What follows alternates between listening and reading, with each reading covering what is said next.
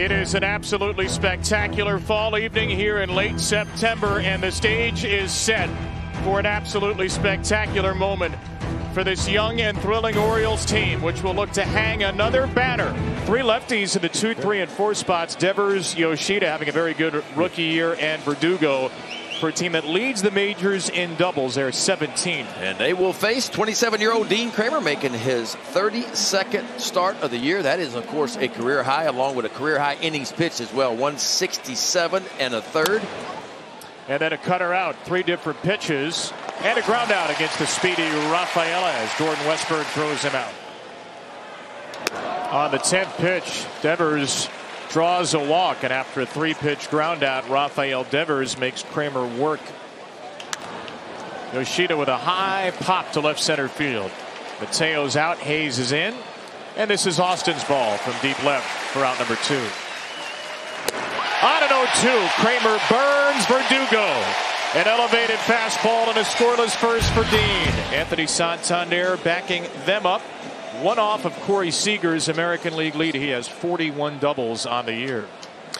And Chris Sale, you can see, I mean, he's getting out there. This is going to be his 20th start against the Orioles. Really struggling. I mean, big time struggling. ERA over 13 runs a game. And then Hays into center field. That chases Ceddanne Rafaela, who hops into the first out.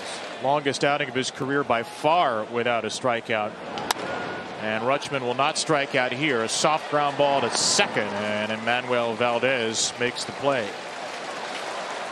The ninth pitch of the sequence is demolished out to left field.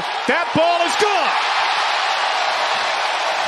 Put that wall as far back and as high as you want. Anthony's still going to clear it.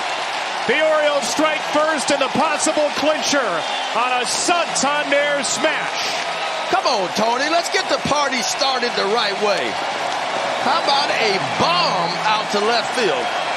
Gunnar Henderson's solo lead in home runs didn't last very long as Ryan Mountcastle on the first pitch he sees in two weeks pops one into left center.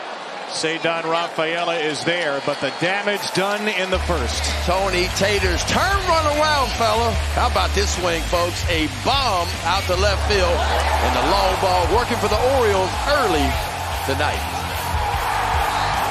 Then it drops and then it picks back up. He pretty much leaves the glove there most of the time, which I want to target. I don't know how Jim felt about it, but wherever you want the ball, that's where I want to see the target. As I get up to balance point and I focus and I begin to come down the slope, I want to see. Goodbye. Well, he's playing pepper with James's glove tonight. A strikeout ends a one-two-three second for Dean Kremer. Kicks into center field. Easy for Rafaela. Right to the inside corner, and Westburg knew it. No descent from the batter's box as Sale throws a one-two-three second. Yeah, different swing that he had a couple of years, but the same result on that pitch. I don't remember him wearing glasses. They hit as high on the curveball as, you know, at 347. I mean, he's got tremendous general manager. They let him go. They don't like that. Down to third, Gunnar Henderson. Three balls, three outs in the third for Dean Kremer. McCann into center field. I'm not sure you should be thanking. That was a little bit dark of a segment right well, there. I, all I did Maybe was not for it. Ringo. Well, his brother was in the choir. Cor- There we go. choristers. Chorus, I'm sorry. Right field, Mateo with a base hit. Jorge Mateo, who reached base a couple of times and had a sacrifice bunt last night with another good at bat. Mateo's on the run, and let's see what happens here. This ball's in Better get left field, and this ball is caught by Abreu. And Mateo was able to get up from his headfirst plunge. Of course, Mateo made this is what they're going to check right here. He's out. Mateo, when he hit second base, he had to re-tag second base to get back. Well, well, Wait I a mean, minute hey, now. He's standing Wait all over the now. bag. So he was standing Yeah. on the bag when Yeah. the ball was caught. So Yeah. wait a minute now. If they can challenge that, which he just makes a little circle, where he's not going to third, he's going call on the field is that the runner is out Yeah. on appeal at second base. Baltimore is challenging. As they should. Yeah, because he didn't make a turn No. toward third base. He slid through the bag Yeah. At, at- at second. After review, the call on the field is confirmed. The runner did not retouch properly. The runner is out. Baltimore will lose their challenge. No retouching. Yeah, well, no, not properly, whatever that means. It is certainly an exciting time in Birdland. No doubt about that, boy. Dean Kremer is just shoving that fastball in there right now. He's working both sides of the plate. His 2 2. He struck him out swinging. Wow. What a wave. New lease extension, at least 30 more years of Orioles baseball here at Camden Yards. 30 is one of the big round numbers tonight. 100 could be the other. The O's searching for their 100th win, and Adley Rutschman helps the cause. 3-2 pitch grounded sharply right at Trevor Story. 6-4-3. The Red Sox turn two. That's outside. Mountcastle sees nine pitches and four of them missed the zone because it was not responding as well as they hoped to treatment. Down to first Dalbec. A hit, a walk, but a double play and a ground out around them. Still one nothing. Story off the end of the bat. There's the Red Sox first base hit.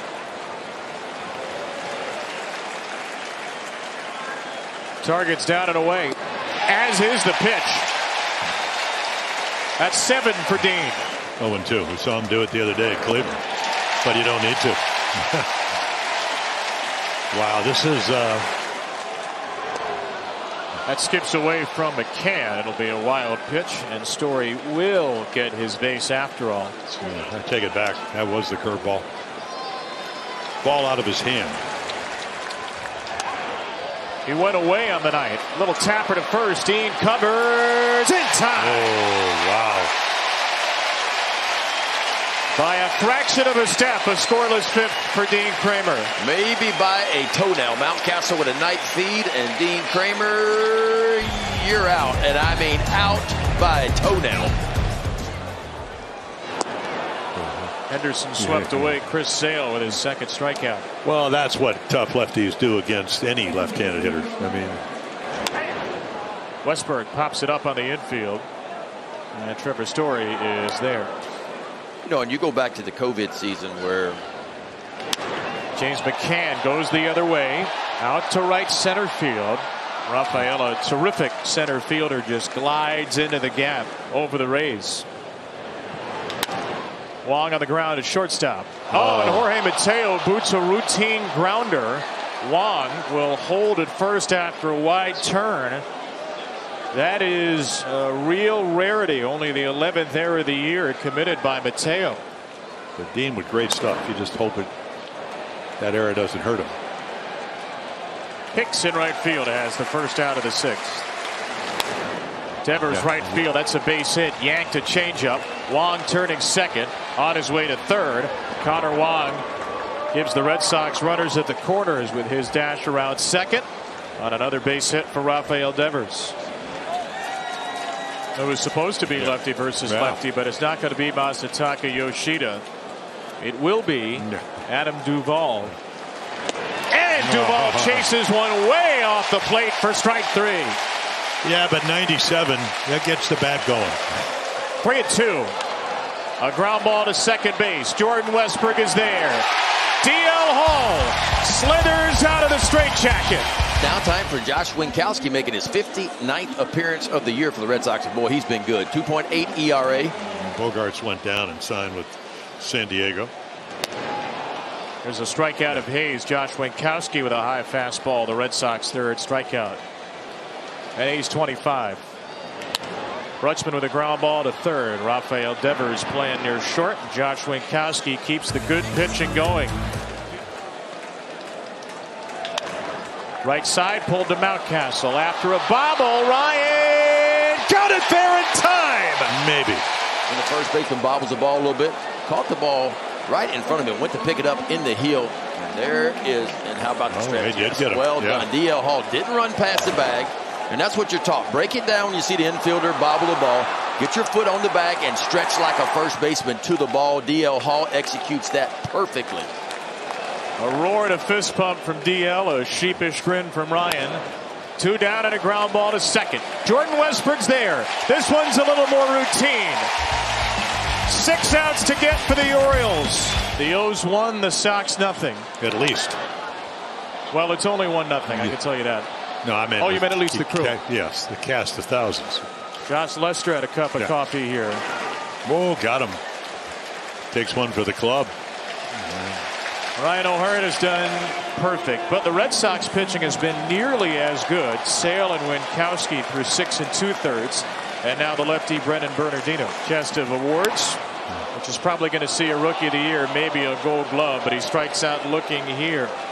On to the eighth we go, and the Orioles will turn to the rock of their bullpen, Yennier Cano, for the 71st time. Yeah, DL Hall was outstanding. One and two thirds of perfect baseball. Yennier Cano making his 71st appearance of the year. Yeah, the changeup was as good as we've seen it in a while.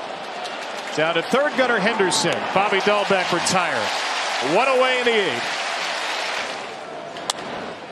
All he's done is become an all-star, and he gives up a base hit here as Jordan Westburg couldn't get to that ground ball from Connor Wong. And the Red Sox put the tying run at first with one out. Rafaela goes down swinging. that's what and we Cano strikes the pose. Well, that's the dirt ball.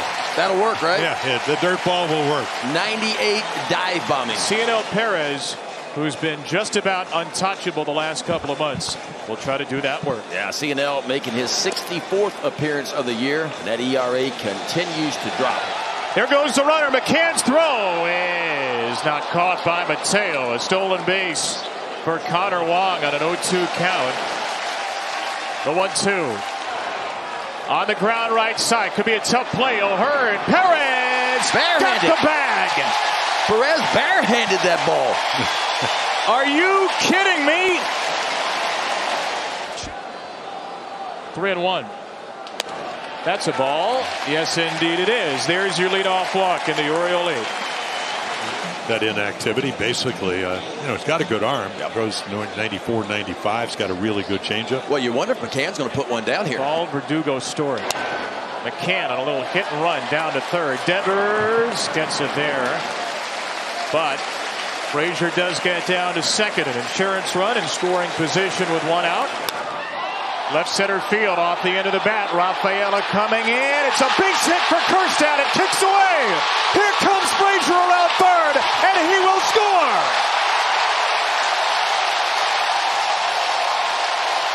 Heston Kjerstad in his 10th career big league game drops in a base hit. It kicks away from the Boston outfield, and the Orioles have a big insurance run. And Hays jammed on a ground ball down to third. Kjerstad will go to third behind the play. He'll take it. Why not grab the extra base with two down? That's outside. Well, listen. It wouldn't be an American League East clincher. Left center field. This could be trouble, but Rafaela and Abreu are there. It's Abreu to get it. The Orioles add one more run. They are three outs away from the American League East title. It will be Tyler Wells, another former Rule 5 pick, to try to send the Orioles to the American League East title and the top seed in the AL postseason. Yeah, T. Wells was good last night. Huge, huge out in a one nothing game. A little check swing grounder. The new shortstop, Gunnar Henderson. One down in the ninth. Only Hays and McCann are at the spots they started the game. One two. Verdugo with a ground ball off the glove of Wells. He picks. He shovels. O'Hearn got his foot on the base, and there is one out to go. Big Daddy Tyler Wells bouncing around all six foot eight of him. You tuned in night after night, hoping for a moment like this. The 1 1 to Story is grounded to third. Ramon Urias from third. The Orioles have done it. Go crazy, Baltimore. You are the new champions of the American League East.